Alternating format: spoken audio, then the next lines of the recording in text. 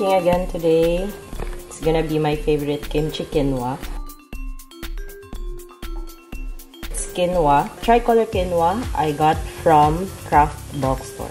And this is my kimchi from Gourmet Uni. So you need about half a cup lang of kimchi. Well, it depends on how intense you want it to be. Usually ako gusto ko about 1 is to 1 ang proportion because the kimchi quinoa is already my grains and my ulam usually.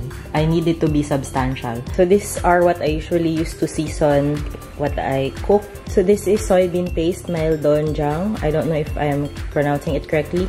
And then this one is male samjang. So the difference is this one is just soybean paste plain soybean.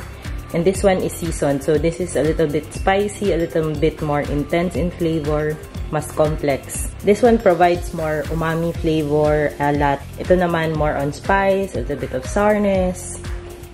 So I use both. I don't know why. I just like the combination of both. There's usually a third one that other people use. It's the red one. It's called gochujang. That one naman, like, it's super intense, super spicy. So if you like spicy food, buy that one. Use that one. Ako, I'm content with this two. This one is milder.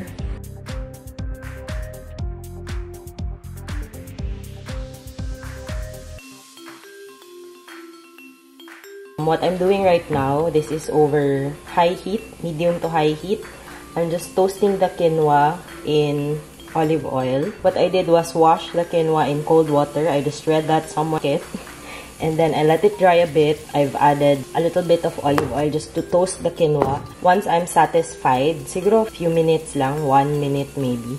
And then after that, I'm gonna add hot water and then let this boil. Using the frying pan instead of the saucepan or stock pot because hindi ko mahanap yung aking saucepan and okay lang naman because small quantity lang naman yung lulutuin natin. Now, I've turned down the heat to medium and I've added one and a half cups of water, I guess. Sorry, I don't really measure when I'm cooking savories. Now, I'm just gonna let this boil. You cook quinoa in the same manner that you cook rice. We'll just wait for it to fluff up. In case you put less water than is required, just have another cup of hot or warm water ready so that you can add more para it won't dry up and burn. This is my first time to cook tricolor quinoa. I usually cook just the white one lang yung nakasanayan ko. But if you can see, I don't know, is it claro? It's almost translucent na. So that's almost ready. Let's just wait a few more minutes or seconds. Let's see. So this is already cooked, but it has a little bit more excess water. So I'm gonna let it dry a bit over low heat para di naman masunog. But after this, after it has been dried, after it has dried out a bit, I'm gonna transfer it to a plate And then I'm gonna cook the quinoa or saute the quinoa in the same pan. Heating your oil, this is medium. Just a little bit of olive oil. I prefer sesame oil but since naubusan ako, so I'm using olive oil right now. And now the kimchi is in the pan with the oil. We'll just wait for it to heat up a bit. Maliit yata yung pan ko. But this is now on medium to high heat again. I don't know if the difference is obvious, but it has now become a deeper shade of red. It has become darker. What we're waiting for this to happen is for the fermentation juice or the fermented juice to evaporate and concentrate a bit. So the taste will be a bit more intense, darker. So mag-caramelize din yung vegetables natin. It will take quite some time, guys. So let's just wait. But make sure to check on it or continue stirring every now and then because you don't want the bottom to be burnt. I have added the samjang and the uh, doenjang. The doenjang or the soybean paste is the browner one, this one the darker one. And the samjang is the more reddish, yan, lighter in color. We're just gonna mix this and continue cooking. And this is what I'm saying that is actually what I want. Pero wag naman burnt, guys. Caramelized lang. So, I'm gonna share with you some tips to adjust the flavor. So, the doenjang and the samjang are mostly umami, salty, and spicy. But if you want it with a tinge of sweetness, you can add some brown sugar or white sugar, whatever you have. Pwede ring honey.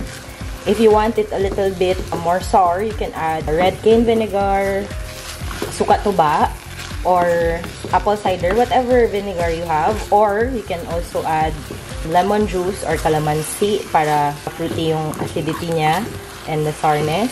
And of course, you can still add salt, pepper. Ideally, maglalagay din ako ng sesame seeds pero tinatamad ako mag-toast ng sesame seeds. So, you can also add um, carrots, fresh cabbage, whatever you want. It is also at this point that uh, you can add like pork belly or chicken but your meat should have already been cooked beforehand. So you can cook it in the same pan naman. Just take it out after frying it or whatever before you saute the kimchi. This is almost ready. If you do not have samjang or doenjang, you can just add chili oil, whatever seasoning that you have in your pantry. So you can use whatever seasoning that you want or seasoning that you already have. Oh, this is looking and smelling really good right now. So I'll just continue on mixing this and let the kimchi be incorporated with the quinoa and the quinoa with the kimchi. Magma-mind meld sila guys. Charot. and our kimchi quinoa is now done. Yan. It's now ready.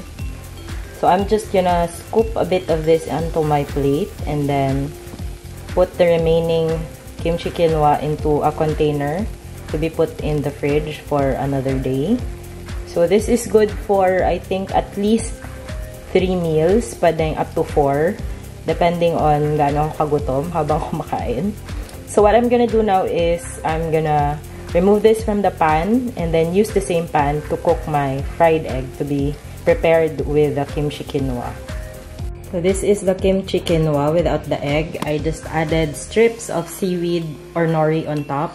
Yan. The nori I got from Soul Family Mart. These are actually sheets. I just cut them up. You can eat this this way or with meat or with ulam, whatever. But ako, I love it with egg on top. So, let's cook the egg. And this is the kimchi quinoa with fried egg on top and some nori. Let's eat!